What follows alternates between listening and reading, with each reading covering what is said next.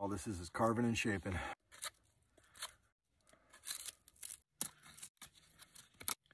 Specifically, this rungi is gonna have a heavier bulbous end, this end up here, and down here is gonna be nice and light.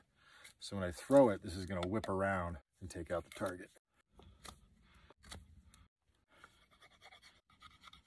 All right, I got it pretty much shaped out. I'm gonna give it a good sanding. Uh, if you don't have sandpaper, you can take some sand, put it on a piece of buckskin like this,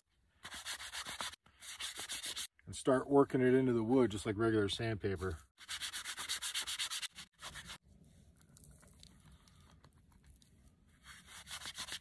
All right, let's put some oil on it give it a few throws.